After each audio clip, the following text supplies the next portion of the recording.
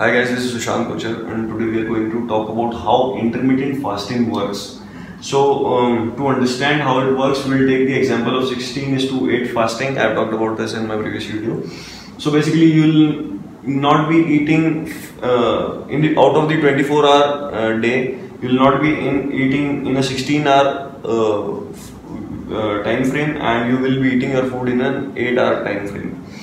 So we'll call it window, 8 hour window and 16 hour window. So let's say you uh, eat your uh, food uh, between the time frame of 9 a.m. in the morning to 5 p.m. in the evening and from 5 p.m. in the evening to next day's 9 a.m. in the morning you will not eat anything. So you'll basically not eat at night and you'll save yourself from the harmful effects of eating at night. Okay. Uh, so you have your first meal at 9 a.m. to 9:30 a.m. You eat your first meal, then you eat your second meal 12:30 p.m. to 1 p.m. and then you eat your third meal at 4:30 p.m. to 5 p.m. Uh, make, make sure that you eat only when you're hungry and you eat a bit lesser than your hunger for your whole life. It is one of the biggest keys to a good health. Okay, so when you eat your last, when you finish your last meal at 5 p.m. See, when you, whenever you eat, even a healthy person, uh, uh, whenever you eat, your blood, your body digests the food, and when it digests the food, your blood sugar goes a bit up, and around after uh, around after two hours, your body takes the blood sugar down to the normal level. Uh, that happens in the healthy person uh, also. Uh, and if your body is not able to take the blood sugar down, then it kind of leads to diabetes. so we'll talk about that in diabetes. But so basically, from 5 to 7 pm your blood sugar goes up and comes back to normal around within 2 hours. Now, around now 9 pm you feel a bit hungry again. So, see what happens over here is uh, your body takes a lot of time to digest food. First of all, your food goes into the stomach. Uh, after 2 to 4 hours, uh, uh your uh, food goes into the small intestine and then it goes into the large intestine and then the uh, excretion come out of your anus. So the whole process of digesting food from stomach, small intestine and large intestine takes more than 10, 10 hours. It takes a lot of time. So, but uh, when your body uh, makes uh, your, makes yourself uh, hungry again, around 4 hours or so after a meal, 3 hours, 4 hours, 5 hours or 6 hours after a meal, uh, we can see that indication uh, as a time when your body is ready for uh, to digest the next meal. So we'll uh, take an assumption that your body has done uh, some decent digestion of your previous meal and is ready to take the next meal. So we'll assume that your fasting window starts when your body is ready for the next meal kind of.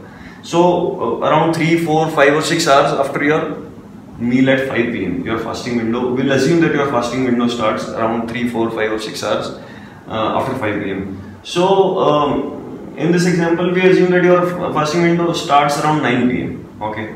Just to, just, this, all of this is for the sake of understanding. There are a lot of researches going on on this topic still. Okay. So, yeah. So, when does the fasting window end?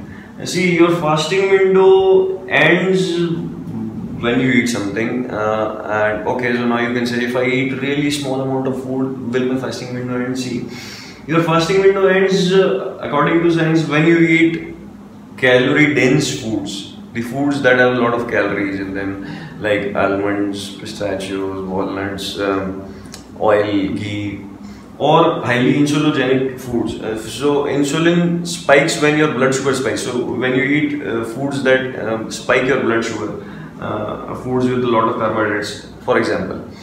So, but I recommend that you do not eat anything in your fasting window uh, because you will not be able to understand if you ate uh, so much that you got out of your fast. So uh, if you cannot do it for 16 hours straight fasting. Uh, see, try to practice from 12 hours of fasting and 12 hours of eating window frame. Then uh, after 7 or 10 days, try to push it to 13 hours fasting. After 10 or 15 days, try to push it to 14 hours fasting and keep doing it till you reach 16 hours fasting frame. It can take about a month or maybe 1.5 months for you to uh, practice and get to the number of 16 hours fasting window but with practice you'll uh, find it comfortable uh, to do it. Okay, so now when your body has entered into the fasting mode, your fasting window has started.